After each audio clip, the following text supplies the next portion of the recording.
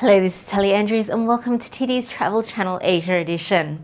The Tourism Authority of Thailand has announced plans to launch a seven-month campaign to attract more transit tourists and stopover visitors to Bangkok. The Amazing Thailand Stopover campaign will be launched at ITB Berlin in March 2011 and continue until September 2011. The main campaign will comprise several elements including special tour packages targeted at specific market segments, special offers for tour operators and passengers, and a major advertising and PR drive. It's intended to tap into the estimated 1.5 million passengers who transit through Bangkok's Suvarnabhumi International Airport each year.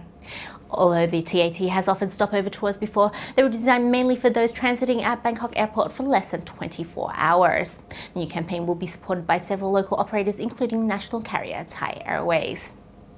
Indonesia has reacted angrily to an announcement by New Seven Wonders that the Komodo National Park may be expelled from its list of finalists.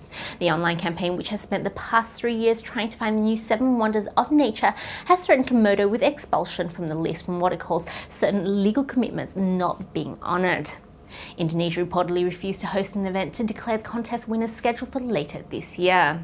The country's Culture and Tourism Minister Jero Wacik said that Indonesia had declined the request due to the 45 million US dollar price tag and that the new Seven Wonders was now trying to punish Indonesia. Komodo's National Park has made it through to the final 28 shortlist, along with other natural wonders such as Halong Bay, the Grand Canyon, Great Barrier Reef, and the Maldives. Bali is aiming to welcome as many as 2.8 million international visitors in 2011. The Bali Statistical Centre said that the Indonesian resort island is planning to increase its tourism arrivals from 2.57 million in 2010 to between 2.6 and 2.8 million this year, an increase of up to 9%. Hotel occupancy levels are expected to rise from 61% last year to 65% in 2011.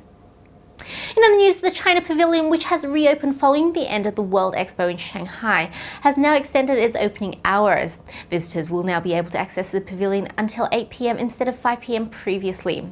Over the recent Spring Festival weekend, the China Pavilion attracted almost 50,000 people with the World Expo's familiar long queues returning to the site.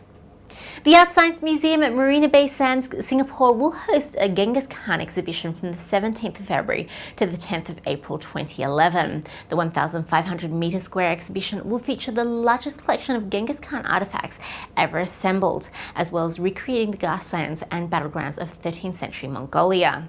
More than 200 authentic treasures of the Mongol Empire will be on display in Singapore, which will be the first Asian country to host the event. And that's it for today. Thanks for joining us. We'll see you again tomorrow.